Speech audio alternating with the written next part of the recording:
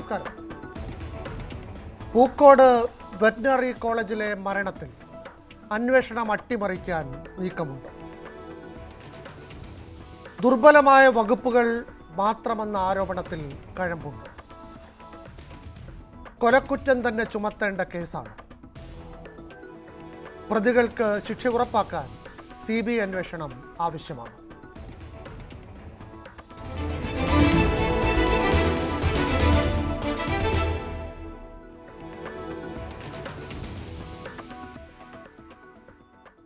News അവറിൽ ഇന്ന് ഈ വിഷയത്തിൽ വയനാട് ജില്ലാ പഞ്ചായത്ത് പ്രസിഡന്റ് ശ്രീ സംഷാദ് മരക്കാർ ശ്രീ ഫക്രുദ്ദീൻ അലി എന്നിവർ പ്രതികരിക്കുന്നു.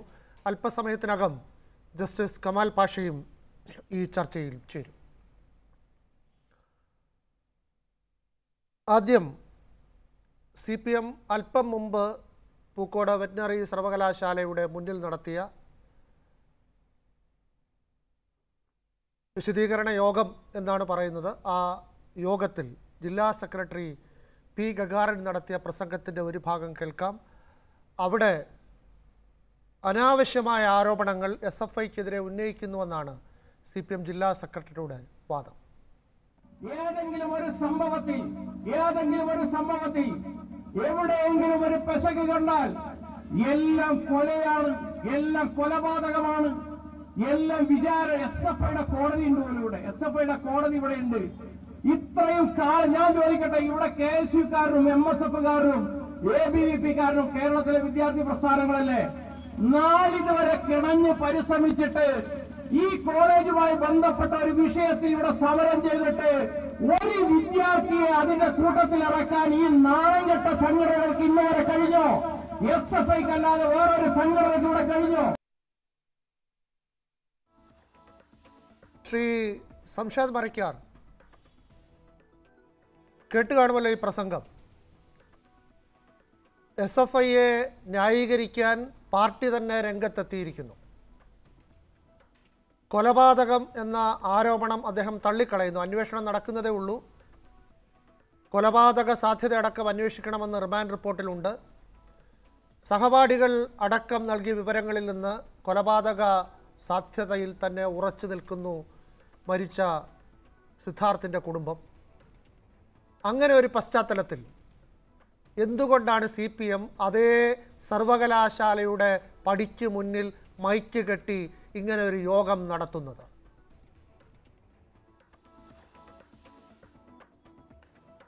വയനാട് പൂക്കോട് വെറ്റിനറി കോളേജിലെ സിദ്ധാർത്ഥിന്റെ മരണവുമായി ബന്ധപ്പെട്ട കാര്യങ്ങൾ നമുക്ക് എല്ലാവർക്കും അറിയാം. പക്ഷെ ഇന്ന് വൈകുന്നേരം വരെ സി പി എമ്മിനെ ഒരു ഇടപെടൽ എന്ന് പറയുന്നത് പരസ്യമായിട്ടായിരുന്നില്ല. രഹസ്യമായിട്ടാണ്. പക്ഷെ ഇന്ന് വൈകുന്നേരം മൈക്ക് കെട്ടി പബ്ലിക്കായി അവരുടെ എല്ലാ തരത്തിലുള്ള ഇടപെടലുകളും അവർ തന്നെ പ്രഖ്യാപിക്കപ്പെടുന്ന ഒരു സാഹചര്യം ഉണ്ടായി.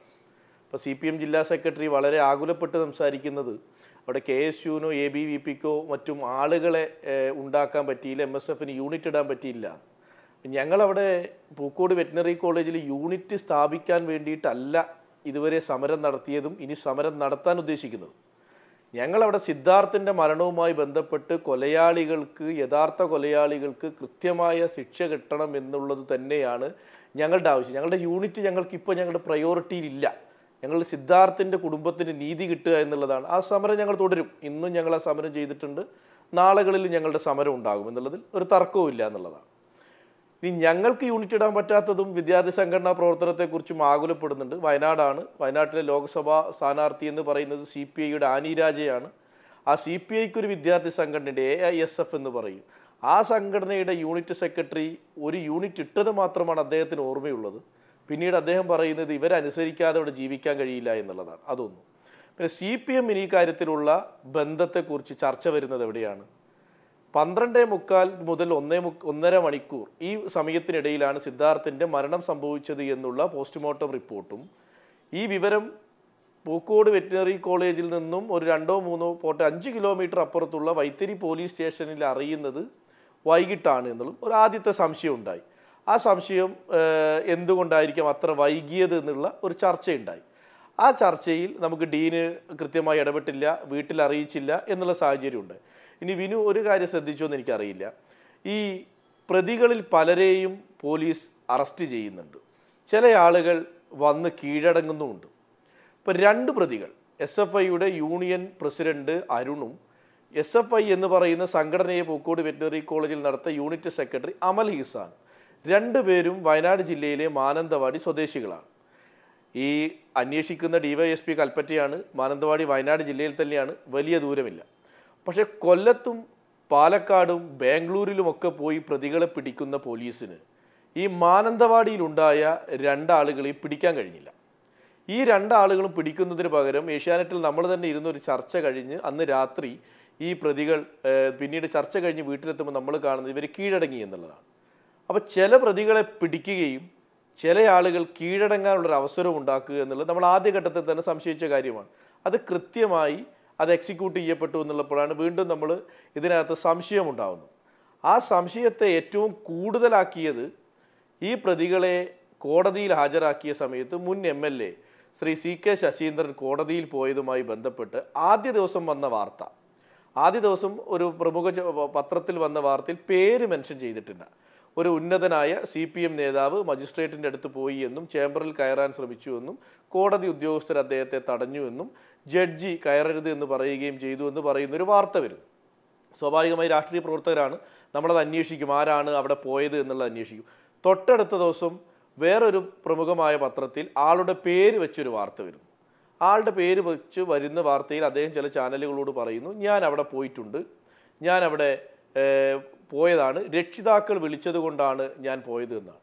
അപ്പോൾ രക്ഷിതാക്കൾ വിളിച്ച് അവരെ കാണാൻ വേണ്ടി കോടതിയിലേക്ക് പോകുന്നതിന് മുമ്പ് അതിന്റെ തലേ ദിവസം തന്നെ എ എസ് എഫ് ഐയുടെ സംസ്ഥാന സെക്രട്ടറി ആർഷോ പറയുന്നത് ഇതിൽ പങ്കെടുത്ത എസ് എഫ് ഐക്കാരെല്ലാം ഞങ്ങൾ പാർട്ടിയിൽ നിന്ന് പുറത്താക്കി. സി പി എം പറയുന്നു ഞങ്ങൾ പൂർണമായി സിദ്ധാർത്ഥിന്റെ കുടുംബത്തോടൊപ്പമാണെന്ന് പറയുന്നു. ഈ സംസ്ഥാന കമ്മിറ്റി പറയുന്നു സി പി എം കുടുംബത്തോടൊപ്പമാണ് എല്ലാവരെയും ഞങ്ങൾ പുറത്താക്കി. അപ്പോൾ എല്ലാവരെയും പുറത്താക്കിയ സമയത്ത് പിന്നെ ഏത് കുട്ടിയുടെ രക്ഷിതാവായിരിക്കാം വിളിച്ചതെന്ന് എനിക്കറിയാം കാരണം സി പി എമ്മുമായി അടുത്ത ബന്ധമെന്ന് പറയുന്നത് എസ് എഫ് ഐയുടെ കുട്ടികളുടെ അവരെ പുറത്താക്കിയിട്ടുണ്ട്. അപ്പോൾ അദ്ദേഹം അതിനെ ന്യായീകരിക്കുന്നത് ഡിവൈഎസ്പിയെ കാണാൻ പോയി രക്ഷിതാവിനെ കാണാൻ പോയി ചേംബറിൽ കയറിയിട്ടില്ല എന്നൊക്കെ പറഞ്ഞ് ശരി അത് ഒരു വാദത്തിന് അംഗീകരിക്കാം. ഇന്ന് രാവിലെ പത്രസമ്മേളനത്തിൽ അദ്ദേഹം പറഞ്ഞത് അദ്ദേഹം ഈ ഇടപെടാൻ ശ്രമിച്ചതല്ല രക്ഷിതാക്കൾ വിളിച്ചത് കൊണ്ട് കാണാൻ പോയതാണ്. ഇതേപോലൊരു രക്ഷിതാവ് നെടുമങ്ങാട് വീട്ടിലുണ്ട്. ഈ കുട്ടികളുടെ രക്ഷിതാവും കുട്ടികളും ഒരുമിച്ചാണ് കോടതിയിൽ ഹാജരാവുന്നത്. കുട്ടികൾ പ്രതികളും കൂടെ വന്നവർ രക്ഷിതാക്കളായി വന്നവരുമാണ്. അവർ ചിലപ്പോൾ ജയിലിലാവും ചിലപ്പോൾ അവരെ കോടതി വെറുതെ വിടും ചിലപ്പോൾ അവരെ ശിക്ഷിക്കപ്പെടും. എങ്ങനെ ചെയ്താലും അവർക്ക് ആർക്കും അവരെ മക്കളെ നഷ്ടപ്പെട്ടിട്ടില്ല. പക്ഷെ നെടുമങ്ങാട് വീട്ടിലുള്ള ജയപ്രകാശിന് മകൻ നഷ്ടപ്പെട്ട ഒരു കേസാണിത് എന്നുള്ളതാണ്. അപ്പം മകൻ നഷ്ടപ്പെടാൻ കാരണമായ ആളുകൾ കോടതിയിൽ ഹാജരാക്കുമ്പോൾ ഏത് രക്ഷിതാവ് വിളിച്ചാലും അതിൽ പോകാൻ പാടുണ്ടോ എന്ന് ആലോചിക്കേണ്ടത് ഒരു പൊതുപ്രവർത്തകൻ ചെയ്യേണ്ട ഒരു മര്യാദയുടെ ഭാഗമാണ്. അത് സി പി എമ്മിന്റെ ഒരു ഇടപെടലായി നമ്മൾ വ്യാഖ്യാനിച്ചു. അദ്ദേഹം പറഞ്ഞു ആ രീതിയിലല്ല. ഇന്ന് വൈകുന്നേരം ഇവരുടെ പ്രതിഷേധ യോഗത്തിൽ സി പി എം ജില്ലാ സെക്രട്ടറിയുടെ ഏകദേശം ഒരു പ്രസംഗം എല്ലാം കഴിഞ്ഞപ്പോൾ തന്നെ നമുക്ക് മനസ്സിലായി സി പി എം എന്താണ് ഉദ്ദേശിക്കുന്നത് എന്നുള്ളത്. അപ്പോൾ വയനാട് ജില്ലയിൽ ഇതിനു മുമ്പും സി പി എം ഇതുപോലൊരു പ്രസംഗം നടത്തിയിട്ടുണ്ട്. അത് രാഹുൽ ഗാന്ധിയുടെ ഓഫീസ് എസ് എഫ് ഐ പ്രവർത്തകർ അടിച്ചു തകർത്തതുമായി ബന്ധപ്പെട്ട് വലിയ പ്രതിഷേധം വയനാട് ജില്ലയിലുണ്ടായി. ആ പ്രതിഷേധത്തെതിരെ സി പി എം പ്രതികരിച്ചു. സ്വാഭാവികമായി രാഷ്ട്രീയ പ്രവർത്തനത്തിൽ പ്രതികരിക്കാം. അന്ന് പുറത്താക്കിയ എസ് എഫ് ഐ ജില്ലാ സെക്രട്ടറി അടക്കമുള്ള ആളുകളാണ് ഇന്നത്തെ എസ് എഫ് ഐയുടെ വയനാട് ജില്ലാ സെക്രട്ടറി. അപ്പോൾ താൽക്കാലികമായ ഒരു വിഷയത്തിൽ നിന്നും ശ്രദ്ധ തിരിക്കാൻ വേണ്ടി ചില നടപടികൾ എടുക്കുകയും അവരെ പൂർണമായി പ്രൊട്ടക്റ്റ് ചെയ്യുന്ന നടപടിയാണ് സി പി എം ജില്ലയിൽ എടുക്കുന്നത്. അപ്പോൾ ആദ്യം മുതൽ നമ്മൾ പറഞ്ഞുകൊണ്ടിരിക്കുകയാണ് സി പി എമ്മിന്റെ ഇടപെടലുണ്ട്. പ്രത്യേകിച്ച് വൈത്തിരി എസ് എച്ച് ഒയുടെ ഭാഗത്ത് നിന്ന്. വൈത്തിരി എസ് എച്ച് ഒ ഈ വിവരം അറിയുകയും ഈ വിവരത്തിൽ കൃത്യമായി ഇടപെടൽ നടക്കാതിരിക്കുകയും ചെയ്യും ഇപ്പം ഇന്ന് വൈകുന്നേരമാണ് ക്രിമിനൽ കുറ്റം ഈ കേസിന്റെ ഭാഗമായി ചാർജ് ചെയ്തു. പക്ഷെ ഇപ്പോഴും വധശ്രമം ചാർജ് ചെയ്യപ്പെട്ടിട്ടില്ല. അപ്പോൾ വധശ്രമം ചാർജ് ഗൂഢാലോചന ചാർജ് ചെയ്തു. വധശ്രമം ചാർജ് ചെയ്തില്ല. വധശ്രമത്തിന് തെളിവുണ്ട്. തലയിൽ മുറിവുണ്ടെന്ന് പറയുന്നു. ഇത്രയും ദിവസം മർദ്ദിക്കുന്നു. ഭക്ഷണം കൊടുക്കുന്നില്ല. വെള്ളം കൊടുക്കുന്ന ഒരാളെ ശ്രമമാണ്. വകുപ്പുകളാണ് രക്ഷപ്പെടാനുള്ള പഴുതുകളുണ്ട്. ശരിയായ വകുപ്പുകൾ ചുമത്തുന്നില്ല എന്നാണ്. ഒരിക്കൽ കൂടി ഈ കൊലപാതക സാധ്യത തള്ളിക്കളയുന്ന രീതിയിലുള്ള സി പി എമ്മിന്റെ ജില്ലാ സെക്രട്ടറിയുടെ പ്രസംഗ ഭാഗം കേൾക്കാം. അത് ഈ സർവകലാശാലയ്ക്ക് മുന്നിലാണ് അന്വേഷണം നടക്കുന്നതേ ഉള്ളൂ. ഞങ്ങൾക്കിതിലൊരു പങ്കുമില്ല. ഞങ്ങൾ മരിച്ച സിദ്ധാർത്ഥിന്റെ കുടുംബത്തിനൊപ്പമാണെന്ന് ഇവർ പറയുന്നു. ഇപ്പോൾ ശ്രീ ഷംസാദ് മരക്കാർ ചൂണ്ടിക്കാണിച്ചതുപോലെ ഇവരൊക്കെ ഇതിൽ ഇടപെടുന്നത്. പ്രതികളായ എസ് എഫ് ഐ പ്രവർത്തകരെ ഞങ്ങൾ പുറത്താക്കിയിരിക്കുന്നു. അവരുമായി ഞങ്ങൾക്കൊരു ബന്ധവുമില്ല. ആ കുടുംബത്തോട് ഞങ്ങൾ മാപ്പ് പറഞ്ഞിരിക്കുന്നു. എന്നൊക്കെ പറഞ്ഞതിന് പിന്നാലെയാണ്. അപ്പോൾ ഇവർക്ക് പിന്തുണ നൽകുന്നത് ആരാണ്? അന്വേഷണം അട്ടിമറിക്കുന്നത് ആരാണെന്നൊക്കെ വ്യക്തമാക്കുന്നതാണ് ആ പ്രസംഗം. സത്യത്തിൽ ഒരു രാഷ്ട്രീയ കക്ഷിക്ക് ഇതെങ്ങനെ നടത്താനാകും? ഇതുപോലെ ഒരു സാഹചര്യത്തിൽ നിന്ന് നാം അത്ഭുതപ്പെട്ടു പോകും. ഒരിക്കൽ കൂടി ജില്ലാ സെക്രട്ടറിയുടെ വാക്കുകളിലേക്ക്. ഏതെങ്കിലും ഒരു സംഭവത്തിൽ ഏതെങ്കിലും ഒരു സംഭവത്തിൽ എവിടെയെങ്കിലും ഒരു പെശക് കണ്ടാൽ എല്ലാം കൊലയാണ് എല്ലാം കൊലപാതകമാണ്. എല്ലാം വിചാര എസ് എഫ് ഐയുടെ കോടതി ഉണ്ട് ഇവിടെ എസ് എഫ് ഐയുടെ കോടതി ഇവിടെ ഉണ്ട്. ഇത്രയും കാലം ഞാൻ ചോദിക്കട്ടെ ഇവിടെ കെ എസ് യുക്കാരനും എം എസ് എഫുകാരനും എ ബി വി പി കാരനും കേരളത്തിലെ വിദ്യാർത്ഥി പ്രസ്ഥാനങ്ങളല്ലേ? നാളിതുവരെ കിണഞ്ഞ് പരിശ്രമിച്ചിട്ട് ഈ കോളേജുമായി ബന്ധപ്പെട്ട ഒരു വിഷയത്തിൽ ഇവിടെ സമരം ചെയ്തിട്ട് ഒരു വിദ്യാർത്ഥിയെ അതിന്റെ കൂട്ടത്തിൽ ഇറക്കാൻ ഈ നാളെങ്കെട്ട സംഘടനകൾക്ക് ഇന്നുവരെ കഴിഞ്ഞോ? എസ് എഫ് ഐക്ക് അല്ലാതെ വേറൊരു സംഘടനയ്ക്ക് ഇവിടെ കഴിഞ്ഞോ? ജസ്റ്റിസ് കമാൽ പാഷ വധശ്രമം അടക്കം ഒന്നും ചുമത്തിയിട്ടില്ല കൊലക്കുറ്റം തന്നെ ചുമത്തണമെന്ന് പറയുന്നു. പല ആളുകളും ഇതുവരെ ലഭ്യമായ തെളിവുകളുടെ അടിസ്ഥാനത്തിൽ ഇത് കൊലപാതകം തന്നെയാണെന്ന് പറയുന്നു. ആ സാഹചര്യത്തിലാണ് സി പി എമ്മിന്റെ ഈ ന്യായീകരണ പ്രസംഗം അതേ സർവകലാശാലയുടെ കവാടത്തിന് പുറത്ത്. ഈ കേസിൽ അന്വേഷണം അട്ടിമറിക്കുന്നതിന്റെ സൂചനകളാണോ കിട്ടുന്നത് ജസ്റ്റിസ് കമാൽ പാഷ? സംശയമില്ലാത്ത കാര്യമാണ്. കാരണം ഇതിപ്പോൾ എസ് എഫ് ഐ പ്രവർത്തകരായതുകൊണ്ട് മാത്രം തന്നെയാണ് ഒരു മുൻ എം എൽ എ ആയിരുന്ന ആൾ സി പി എമ്മിന്റെ സമുദന്നത ഏതാവുന്ന ആദ്യം മാധ്യമങ്ങളിൽ വന്നുള്ളൂ. പിന്നെയാണ് അദ്ദേഹത്തിന്റെ പേര് പുറത്തോട്ട് വന്നത്. അത് മജിസ്ട്രേറ്റിന്റെ വസതിയിൽ പ്രതികളെ ഹാജരാക്കിയപ്പോൾ അവിടെ പോകാനായിട്ട് ചെന്നു. ചെന്ന് കഴിഞ്ഞപ്പോൾ ആദ്യം അവിടെ പോലീസുകാരൊക്കെ ഒന്ന് തടഞ്ഞു അങ്ങനെ കയറിപ്പാൻ പറ്റത്തില്ല എന്ന് പറഞ്ഞു. പോലീസുകാരെ തൈ കൈ തട്ടി മാറ്റിക്കൊണ്ട് കയറിപ്പോയി അവിടെ ചെന്ന് കഴിഞ്ഞപ്പോൾ കോടതി ഉദ്യോഗസ്ഥർ പറഞ്ഞു കയറാൻ പറ്റുന്നില്ല എന്ന്. വീണ്ടും അങ്ങോട്ട് കയറി ചെല്ലുകയാണ്. കയറി ചെന്നപ്പോൾ മജിസ്ട്രേറ്റ് അയാളെ ഇറക്കി വിട്ടതാണ്. അപ്പോൾ ഇത് പോയത് എന്തിനാന്ന് ചോദിച്ചു കഴിഞ്ഞാൽ എന്തിനാന്ന് നമുക്ക് ഊഹിക്കാമല്ലോ. ഇവർ പറയും ആരാ അയാൾ ഇപ്പോൾ പറയുന്ന വേർഷൻ എന്ന് പറയുന്നത് ഞാൻ കേട്ടു. അതായത് രക്ഷാകർത്താക്കൾ വിളിച്ചിട്ടാണ്. ആര് രക്ഷാകർത്താക്കളാണ്? ഈ സി പി എം പുറത്താക്കിയെന്ന് പറയുന്ന അതായത് എസ് എഫ് ഐ പുറത്താക്കിയെന്ന് പറയുന്ന കുട്ടികളുടെ രക്ഷാകർത്താക്കളെ വിളിച്ചപ്പോഴാണോ ഇയാൾ പോയത്? അതോ ഈ മരിച്ച പയ്യന്റെ രക്ഷാകർത്താക്കളെ വിളിച്ചപ്പോഴാണോ ഇയാൾ പോയത്? ഇതുപോലുള്ള കാര്യങ്ങളൊക്കെയാണ് നമ്മൾ കണ്ടുകൊണ്ടിരിക്കുന്നത് ഇപ്പോൾ ഇതിനകത്ത് ആത്മഹത്യാ ശ്രമം ആത്മഹത്യക്ക് പ്രേരിപ്പിക്കൽ എന്നുള്ള ഒരു വകുപ്പ് ത്രീ നോട്ട് സിക്സ് ഇട്ടിട്ടുണ്ട്. അത് നിൽക്കും ശരിയാണ് ആത്മഹത്യ ആത്മഹത്യയാണെങ്കിൽ. പക്ഷേ ഇത് കം തീർത്തും ആത്മഹത്യയാണോ എന്ന് നമുക്ക് പറയാൻ പറ്റുന്നതല്ല. അതായത് ഒരു ഒരു മൃതപ്രായനാക്കിയ ഒരാളെ യഥാർത്ഥത്തിൽ അയാളെ എടുത്ത് കെട്ടിത്തൂക്കിയാലും ഈ ആത്മഹത്യയുടെ എല്ലാ ലക്ഷണങ്ങളും വരും. മാത്രമല്ല ഇതിനകത്ത് വളരെ പ്രത്യേകതയുള്ളത് വിനു നമ്മളൊരു കാര്യം ശ്രദ്ധിക്കേണ്ടതാണ്. ഇതിലെ ലൈഗേച്ചർ മെറ്റീരിയൽ ഉണ്ടല്ലോ അത് ഫോറൻസിക് സർജന്റെ അടുത്ത് ഹാജരാക്കിയിട്ടില്ല ഇങ്ങനെയുള്ള കേസുകളിൽ ഹാങ്ങിങ് ആയാലും പാർഷ്യൻ ഹാങ്ങിങ് ആയാലും അതിനകത്ത് ആ ലൈഗേച്ചർ മെറ്റീരിയലിന് വളരെ പ്രാധാന്യമുണ്ട്. പക്ഷേ ഈ കേസിനകത്ത് ആ ലൈഗേച്ചർ മെറ്റീരിയൽ ഹാജരാക്കിയിട്ടില്ല. ഇതെന്ത് ലൈഗേച്ചറാണ് ഉപയോഗിച്ചതെന്ന് ഇതിൽ നിന്ന് വ്യക്തമല്ല. ഡോക്ടർ ഈ പോസ്റ്റ്മോർട്ടം ഓട്ടോപ്സി നടത്തിയ ഡോക്ടർക്ക് ഈ ലൈഗേച്ചർ മെറ്റീരിയൽ കാണാനുള്ള അവസരം ഉണ്ടായിട്ടില്ല. അതുകൊണ്ട് തന്നെ യഥാർത്ഥത്തിൽ ശരിയായ ഒരു തീരുമാനത്തിലെത്താൻ പലപ്പോഴും ബുദ്ധിമുട്ടും. പിന്നെ ഈ ഹാങ്ങിങ്ങിന്റെ കേസുകൾ സാധാരണ വരുമ്പോൾ അതിന്റെ ആ പ്രഷർ അബരേഷൻ കഴുത്തിൽ വരുമ്പോൾ ആ പ്രഷർ അബരേഷൻ എന്ന് പറയുന്നത് അത് യഥാർത്ഥത്തിൽ ഒബ്ലിക്കാണ്. ഇതിന് ഒബ്ലിക്കാണ് സമ്മതിക്കുന്നു. പക്ഷേ ഒബ്ലിക്കായാലും അത് കണ്ടിന്യൂസ് ആയിരിക്കത്തില്ല. ഒരു സൈഡ് ചേരത്തില്ല തമ്മിൽ അപ്പോൾ കണ്ടിന്യൂസ് അല്ല ഡിസ്കണ്ടിന്യൂസ് ആയിരിക്കും സാധാരണഗതിയിൽ പക്ഷേ ഇത് കണ്ടിന്യൂസ് ആണോ ഡിസ്കണ്ടിന്യൂസ് ആണോ എന്ന് ഈ പോസ്റ്റ്മോർട്ടം സർട്ടിഫിക്കറ്റ് നോക്കിയാൽ ഇഞ്ചുറി നമ്പർ ത്രീ അതിനകത്ത് ആ പ്രഷർ അപരീക്ഷൻ നോക്കിയാൽ നമുക്ക് അറിയാൻ പറ്റുന്നില്ല. അത് നമുക്കിനി അത് ബാക്കി ആ ഇൻക്വസ്റ്റ് റിപ്പോർട്ടും അതും ഇതുമൊക്കെ കണ്ടാലേ പറയാൻ പറ്റുള്ളൂ. അതുകൊണ്ട് അതിനെക്കുറിച്ചൊന്നും പറയാൻ പറ്റുന്നില്ല.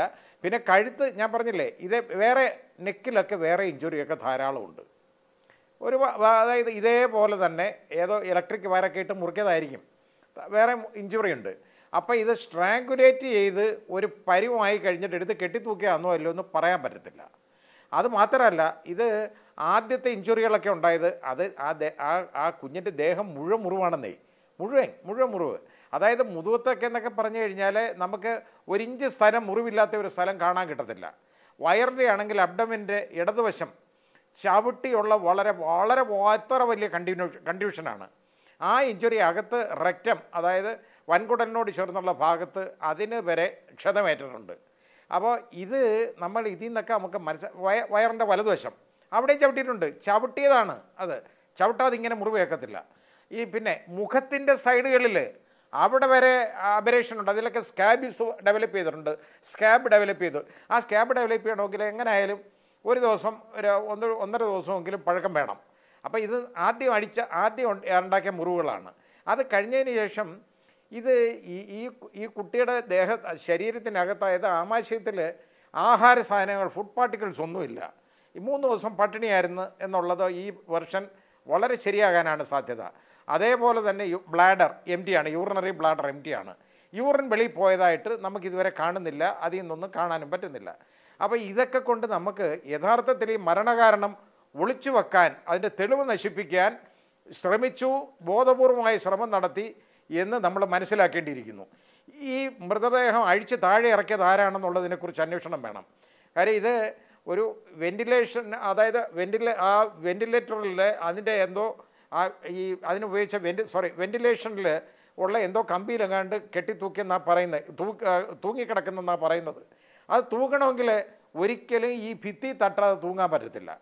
അപ്പോൾ അത് മിക്ക അങ്ങനെ ഇരിക്കുമ്പോൾ ഈ കാൽ നിലത്ത് തട്ടുകയോ ഭിത്തി തട്ടുകയോ ഇല്ലോ എന്നൊന്നും അറിയാൻ പറ്റുന്നില്ല ഇത്. ഇത് ആ രീതിയിൽ ദുരൂഹതയുള്ള ഒരു സംഭവമാണ്. ഇത് കൊലപാതകമാകാൻ ഒരുപാട് സാധ്യതകളുള്ളതാണ്. എന്നിട്ട് പോലും ഇപ്പോഴും പോലീസ് ഈ ത്രീ നോട്ട് സെവൻ ഇതിനകത്ത് ഇൻകോർപ്പറേറ്റ് ചെയ്തിട്ടില്ല. ഇത്രത്തോളം ഇഞ്ചുറി ഒരു മനുഷ്യനെ ചവിട്ടി തേച്ചതാണ്. ചവിട്ടി പരുമാക്കിയതാണ് ഇതുപോലെ. എന്നിട്ട് തലയുടെ പിന്നിലുള്ള മുറിവെന്ന് പറയുന്നത് കണ്ടീഷന് വളരെ എന്തോ അതേപോലെ ബ്ലണ്ട് ഓബ്ജക്റ്റ് വെച്ച് ഏതോ അതായത് വലിയ നല്ല വടിയോ അല്ലെങ്കിൽ ഇരുമ്പ് കമ്പിയോ വലിയ വടിയോ എന്തോ വെച്ച് ഉള്ള ബലമായിട്ടുള്ള അടിയാണ്. പക്ഷേ ബ്രെയിൻ ഇഞ്ചുറി പറ്റിയില്ല എന്നുള്ളത് ഒരു പ്രത്യേകതയുണ്ട്. ബ്രെയിനിനകത്ത് ഇഞ്ചുറി ഇല്ല അതിനകത്ത് കാണുന്നില്ല. പക്ഷേ ഇത്രയും വലിയ ഇഞ്ചുറി തലയിൽ ഈ മുറിവൊക്കെ ഉണ്ടാക്കുമ്പോൾ ഒരാളെ തലയിൽ അടിക്കുന്നത് കൊല്ലാൻ വേണ്ടിയല്ലേ? അല്ലാതെ ചെറുതായിട്ട് നോവിക്കാൻ വേണ്ടിയൊന്നും അല്ലല്ലോ. തലയിലൊക്കെ അടിക്കുന്നത് ആ ഇഞ്ചുറിയൊക്കെ ഉള്ളപ്പോൾ ഇതിനകത്ത് ത്രീ നോട്ട് സെവൻ ഇപ്പോഴും പോലീസിനകത്ത് എന്താണ്? ത്രീ നോട്ട് സെവൻ ഇടാത്തത് ഈ കൊലയാളികളെന്ന് പറയുന്നവന്മാരെല്ലാം എസ് എഫ് ഐക്കാരായതുകൊണ്ടാണ്. ഒരു സംശയമില്ല. ഇത് ഇവർ ഈ ഓപ്പൺ വിചാരണ നടത്തിയുള്ള കൊലപാതകങ്ങൾ കണ്ട് പഠിച്ചവരാണ് ഇവർ അതാ കാര്യം. കാരണം ഇവർ ജ്യേഷ്ഠന്മാർ മൂത്ത ജ്യേഷ്ഠന്മാർ അതായത് അവർ സി നമ്മൾ കണ്ടതല്ലേ? ഓപ്പണായിട്ട് വയലിൽ വെച്ച് ഒരു മനുഷ്യനെ വിചാരണ പരസ്യ വിചാരണ നടത്തിയിട്ട് അവിടെ വെച്ച് കൊടി കൊല്ലല്ലേ കൂട്ട ആളുകൾ കൂടി നിന്നുണ്ട് വിചാരണ. ഈ വിചാരണ ഇവന്മാർ നടപ്പാക്കിയതിന്റെ കാരണം ഇത് കണ്ടുകൊണ്ടാണ്. ഇത് കണ്ട് പഠിച്ചാൽ എങ്ങനെ ക്യാമ്പസിലുള്ളവർ നന്നാവും? മാത്രമല്ല ഈ ഡീൻ എന്ന് പറയുന്ന മനുഷ്യനുണ്ടല്ലോ അയാൾ ഇന്നലെ പറയുന്ന ഞാൻ കേട്ടു. ഇതിനകത്ത് മാധ്യമത്തിൽ ഏഷ്യാനെറ്റിൽ തന്നെ അത് കാണിക്കുന്നത് ഞാൻ കണ്ടതാണ്. അയാളൊക്കെ പറയുന്നത് എന്ത് കാഷ്വലായിട്ടാണ് ഇതിനെക്കുറിച്ച് പറയുന്നത്? എന്റെ ജോലി എന്ന് പറയുന്നത് സെക്യൂരിറ്റി പണിയല്ലെന്ന് എനിക്ക്. അയാൾക്ക് സെക്യൂരിറ്റി പണിയല്ലാതെ പിന്നെ എന്താ ഉള്ളത്?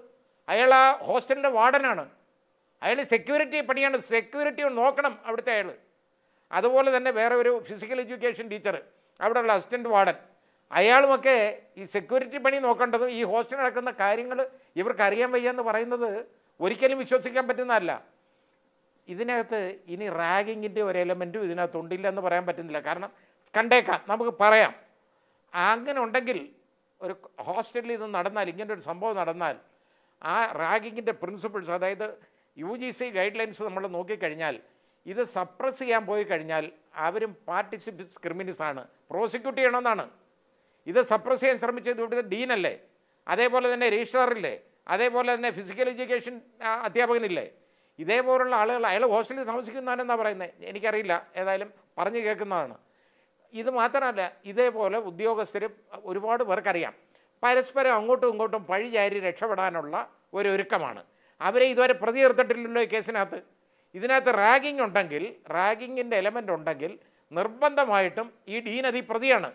കാരണം ഒരു കംപ്ലൈന്റ് വന്നാൽ അത് സപ്രസ് ചെയ്താൽ അയാൾ ഈ കുറ്റം ഈ പ്രതികൾ ചെയ്ത കുറ്റം തന്നെ ചെയ്തതായിട്ട് പരിഗണിക്കണം എന്നാണ് നിയമം. അപ്പോൾ ഇതിനകത്ത് കംപ്ലൈന്റ് ഉണ്ടെന്ന് പറഞ്ഞാൽ ഈ പയ്യൻ എന്തായാലും മരിച്ചോയ പയ്യന് കംപ്ലൈന്റ് കൊടുക്കാൻ പറ്റത്തില്ല. അപ്പോൾ കംപ്ലൈന്റ് എന്ന് പറഞ്ഞാൽ അയാൾക്ക് നേരിട്ട് അറിഞ്ഞാൽ മതി. അയാൾക്ക് നേരിട്ട് അറിവുള്ള കാര്യമാണ്. അതായത് ഏതാണ്ട് അഞ്ഞൂറ് മീറ്ററിനുള്ളിലാണ് അയാൾ താമസിക്കുന്ന ഹോസ്റ്റലിൽ നിന്ന് മാത്രമല്ല വാർഡനാണ്. അയാൾ ദിവസം തോറും ഇവിടെ വന്ന് നോക്കേണ്ട ആളാണ്. അപ്പോൾ ഇവിടെ ഒരുത്തനെ ഇങ്ങനെ പൂട്ടിയിട്ട് ഇതേപോലെ തല്ലിച്ചതയ്ക്കുന്നു എന്നുള്ള വിവരം അയാൾക്ക് കിട്ടിയില്ല എന്ന് പറയുന്ന ആർക്ക് വിശ്വസിക്കാൻ പറ്റും? ഇത് ആരെടുത്താണ് പറയുന്നത് ഇതൊക്കെ? ഈ രീതിയിലാണ് ഇവർ കൈകാര്യം ചെയ്തുകൊണ്ടിരിക്കുന്നത്. പിന്നെ ഈ പ്രസംഗവും ഇതുമൊക്കെ. അതിനെക്കുറിച്ച് രാഷ്ട്രീയമായതുകൊണ്ട് ഞാൻ അതിനെക്കുറിച്ച് അഭിപ്രായമൊന്നും പറയുന്നില്ല. പറഞ്ഞതൊന്ന് കേൾക്കാം. സത്യത്തിൽ എന്ത് നടപടിയാണ് ഈ മനുഷ്യൻ ഒരു അധ്യാപകൻ പോകട്ടെ നമ്മുടെ പൊതുപ്പണം പറ്റാൻ യോഗ്യനല്ലാത്തതാണ് ഈ നിമിഷം പിരിച്ചുവിടപ്പെടേണ്ടതാണെന്ന് ഇന്നലെ അയാളുടെ വാക്കുകളിൽ നിന്ന് വ്യക്തമാണ്. യു ജി സിയുടെ ആന്റി റാഗിംഗ് സെല്ലിന്റെ നടപടികൾ ഉണ്ടായില്ലെങ്കിൽ ഇവർ ഒന്നും ചെയ്യില്ല. അത് വന്നപ്പോൾ നടപടിയെടുത്തു എന്ന് ഇയാൾ പറയുകയാണ്. അതിനു മുമ്പ് പറഞ്ഞതൊക്കെ സാമാന്യ യുക്തിയുള്ള ആളുകൾക്കൊന്നും സഹിച്ചു നിൽക്കാൻ പറ്റുന്നതല്ല. ഇങ്ങനെ സാഹചര്യങ്ങൾ വഷളായിട്ടും ഒരു കുട്ടിയുടെ ജീവൻ പൊലിഞ്ഞിട്ടും അയാൾക്ക് തരിമ്പും കുറ്റബോധമില്ല. അയാളുടെ വാക്കുകൾ. ഇതിന്റെ പണി എല്ലാ ദിവസവും പോയിട്ട് സെക്യൂരിറ്റി സർവീസ് അല്ല. അറിയിച്ചിട്ട് പത്ത് മിനിറ്റിനുള്ളിൽ ഞാൻ ആ സ്പോട്ടിൽ എത്തിയിട്ടുണ്ട്. ആശുപത്രി കൊണ്ടുപോയി ജീവൻ രക്ഷിക്കാനുള്ള എല്ലാ നടപടികളും ശ്രമിച്ചിട്ടുണ്ട്. ബന്ധുക്കളെ പത്ത് മിനിറ്റിനുള്ളിൽ അറിയിച്ചിട്ടുണ്ട്. ഇത് വിത്തിൻ ഫൈവ് മിനിറ്റ്സ് നമ്മുടെ യൂണിവേഴ്സിറ്റി അറിഞ്ഞിട്ടുണ്ട്. ഒരു സംശയവുമില്ല. എല്ലാവരും അറിയിച്ചു ബി സി എ ഫോണിൽ അറിയിച്ചിട്ടുണ്ട്. നമ്മൾ അസിസ്റ്റന്റ് വാർഡനോട് അന്ന് തന്നെ അന്വേഷിച്ചിരുന്നു. പത്തൊമ്പതാം തീയതി നമുക്ക് എഴുതി തന്നു. അവിടെ അങ്ങനത്തെ ഒരു പ്രശ്നങ്ങളും നടന്നതായിട്ട് ഒരു കുട്ടിയും റിപ്പോർട്ട് ചെയ്തിട്ടില്ല എന്ന് പറഞ്ഞു. ഇരുപതാം തീയതി വീണ്ടും നമ്മൾ ഒന്നും കൂടി ചോദിച്ചു. അവിടെ എന്തോ അടിപിടി കശപിശകൾ ഉണ്ടായിട്ടുണ്ട്.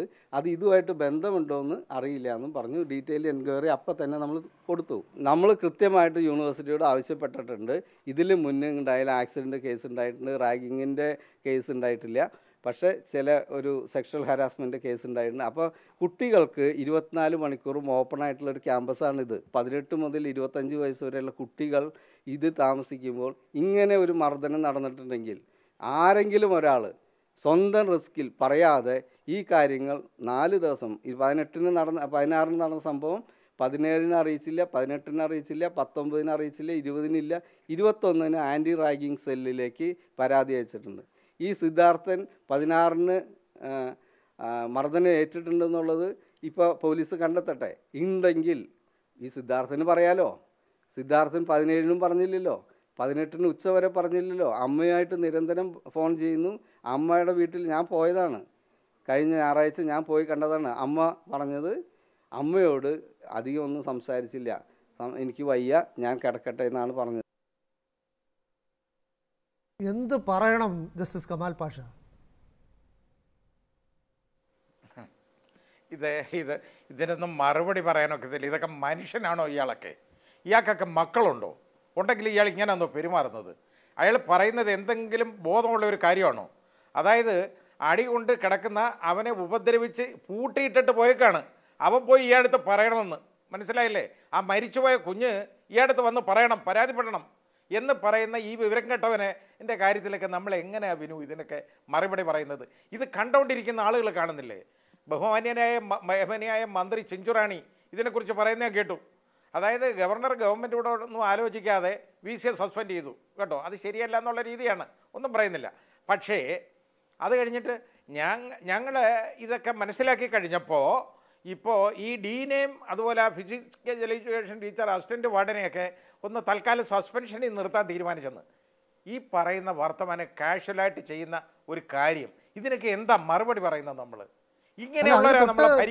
അതായത് ഗവർണർ സസ്പെൻഡ് ചെയ്യുന്നതിന് മുമ്പ് ഈ ഡീനെ ന്യായീകരിച്ചതാണ് ഈ മന്ത്രി ചിഞ്ചുറാണി അയാൾ വളരെ മാന്യനാണ്. വിദ്യാർത്ഥികളോട് സ്നേഹമല്ല അമിതമായ സ്നേഹമാണ്. മരിച്ച കുട്ടിയുടെ വീട്ടിൽ അറിയിച്ചില്ല എന്നൊരു വീഴ്ച മാത്രമേ ഉള്ളൂ എന്ന് പറഞ്ഞ് ന്യായീകരിച്ചാണ്. ഇതാണ് ഇയാളുടെ സ്വഭാവമെങ്കിൽ ഇയാളെ എന്ത് വിളിക്കണം? അതാ ഞാൻ പറഞ്ഞേ ഇയാളെ ഒരിക്കലും നമുക്ക് മനുഷ്യൻ എന്നുള്ള രീതിയിൽ അയാളെ സംബോധന ചെയ്യാൻ ഒക്കത്തില്ല ഒരു മനുഷ്യന്റെ ഒരു സ്വഭാവമുള്ള ഒരാളെന്ന അയാളെ നമുക്ക് സംബോധന ചെയ്യാൻ പറ്റുന്നില്ല. ഇനി ഡീൻ ഇങ്ങനെയുള്ളതിനെ തന്നെ പിടിച്ച് ഡീനാക്കണം അതാ വേണ്ടത്. ഇനി മാത്രമല്ല ഇനി ഇതിനകത്ത് രസകരമായ ഒരു അതിനകത്ത് വളരെ അതിശയകരമായ ഒരു സംഭവമുണ്ട്.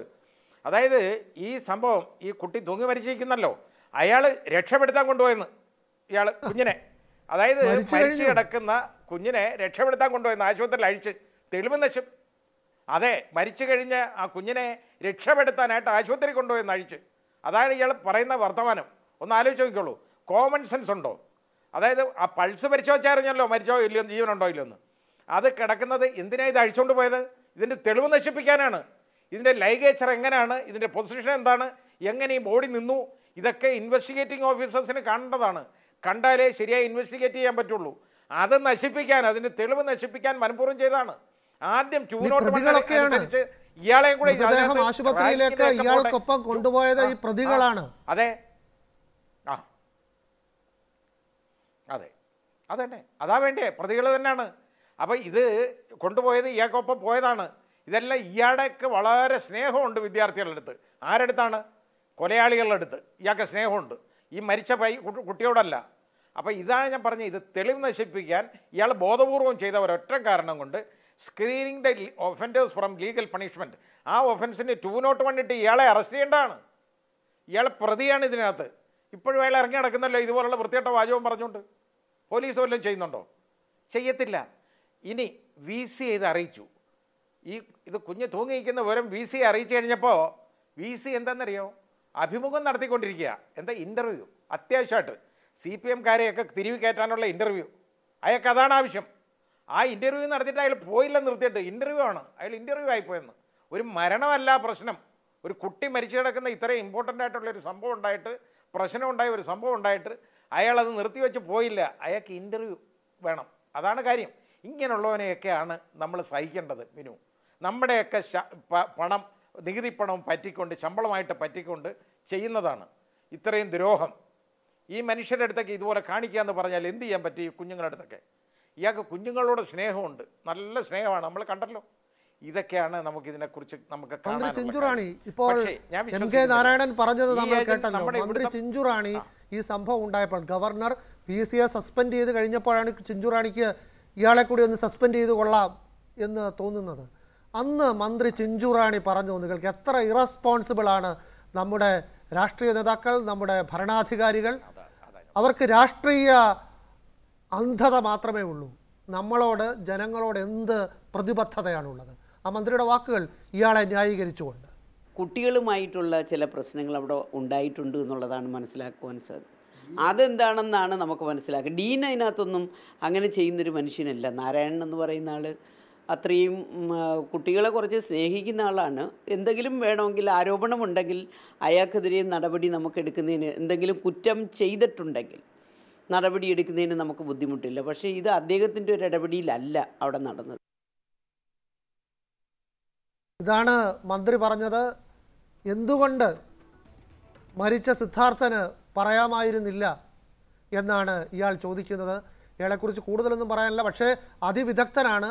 പൂക്കോട്ട് സർവകലാശാലയിൽ ക്വാർട്ടേഴ്സ് ഉണ്ട്. അതുകൂടാതെ തൃശ്ശൂരിൽ ഒരു മൃഗാശുപത്രിയോട് ചേർന്ന് അവിടുത്തെ ഡോക്ടർക്ക് താമസിക്കേണ്ട ക്വാർട്ടേഴ്സും കൈവശം വെച്ചിട്ടുണ്ട്.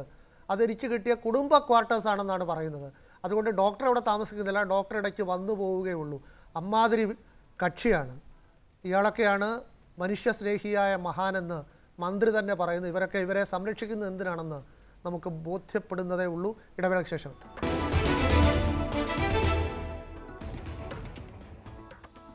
ഫക്രുദ്ദീൻ സത്യം പുറത്തു വരുന്നത് യഥാർത്ഥ പ്രതികൾ പിടിക്കപ്പെടുന്നത് അവർ ശിക്ഷിക്കപ്പെടുമെന്ന് ഉറപ്പാക്കുന്നത് രാഷ്ട്രീയ നേതൃത്വം ഭയപ്പെടുന്നുണ്ടോ?